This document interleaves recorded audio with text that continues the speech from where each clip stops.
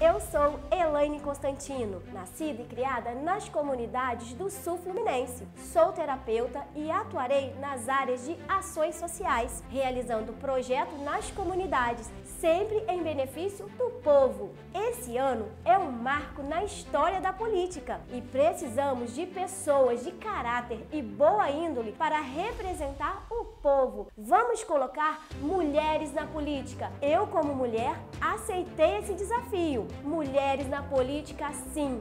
Vem comigo. Juntos seremos mais fortes. Eu sou Elaine Constantino, candidata a deputada estadual pelo Republicanos.